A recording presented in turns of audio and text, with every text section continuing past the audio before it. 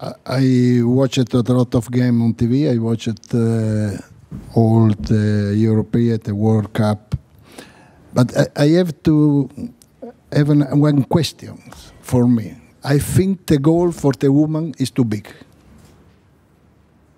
Do you understand me?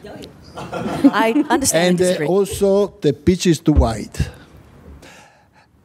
Because uh, why when you uh, play uh, basketball is not Hmm. tall like the men's? Why when you play volleyball is not so tall the, the nets like the, the men? This is my question.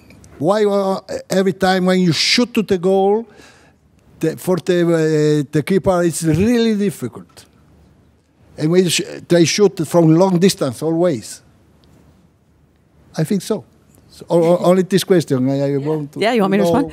Um, I, I respectfully disagree. I think, you know, where our sport is, you've got to understand that the men's game has been around for 100 years. Uh, we are now seeing, so for example, in. Um, in Japan, a lot of athletes, the tall athletes there, always went into volleyball. Now we're seeing taller athletes go into uh, to soccer, to football in a country like Japan.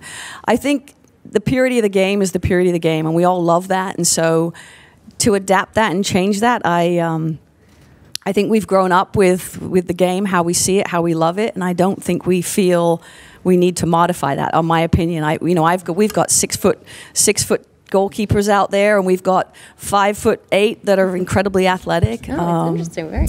I think, and I also think where we are in, in our game over time, the the level of athleticism will continue, just like it has in the men's side, from way back in the 50s to now. Just think of now the level of athlete, and I also think that will continue to evolve on the women's side.